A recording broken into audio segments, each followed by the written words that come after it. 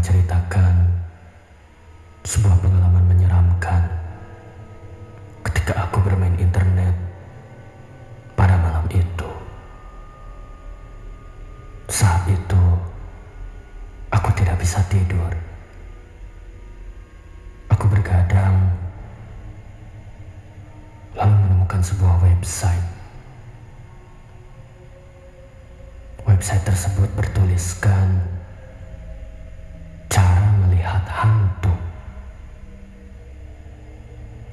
pikir ini sepertinya menarik. Jadi aku ingin mencobanya. Aku klik website tersebut. Lalu masuk ke halaman awal. Sebuah tulisan besar. Apa ada orang di situ?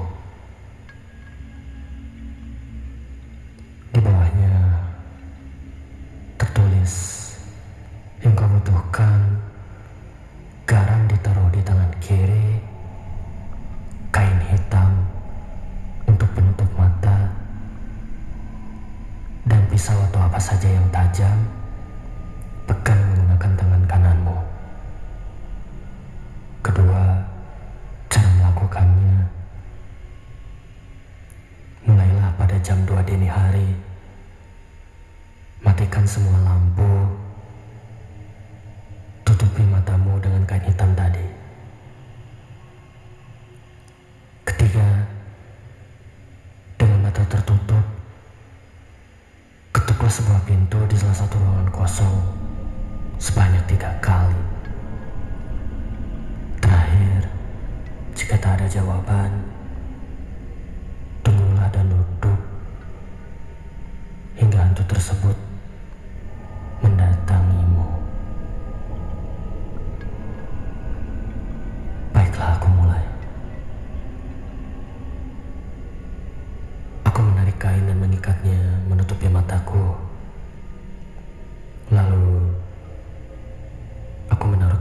garam di tangan kiriku dan menggenggam pisau di tangan kananku.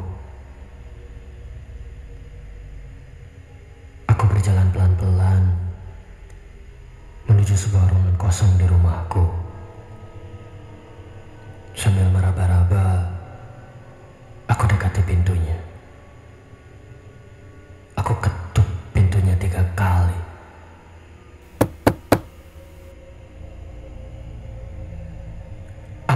di situ?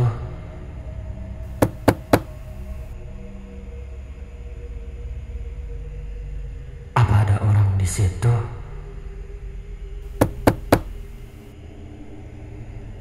Hmm. Kalau sekarang bukan saat yang tepat, Aku akan menunggumu sampai kau siap untuk keluar. Sahutku kepada hantu tersebut. Tak ada jawaban. Aku pun berjalan kembali ke ruangan awal. Hah. Sekarang duduk saja dan tunggu sampai hantunya keluar. Waktu berlalu,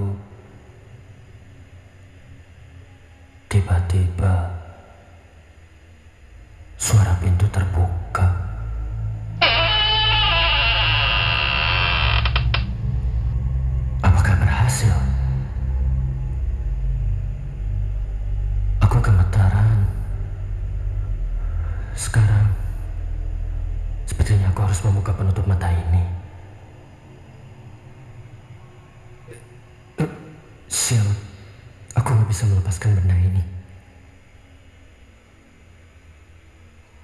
Hah? Apa-apaan?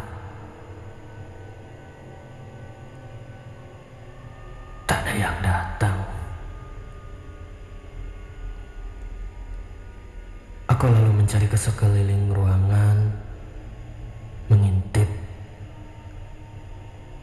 mencari di seluruh penjuru rumah, tapi hantunya tidak ada. Aku meletakkan pisau dan penutup mata. Ah, pasti bohong. Tapi tetap saja aku merasa sedikit ketakutan juga melakukan hal tersebut. Sudahlah. Lagi pula aku mulai mengantuk. Aku menuju tempat tidur. Jam sudah menunjukkan pukul 3 pagi. Aku mencoba menutup mataku dan mulai tertidur. Ah, aku lupa. Komputer masih menyala. Aku harus mematikan komputer dulu. Aku terbangun lalu menuju ruangan komputer.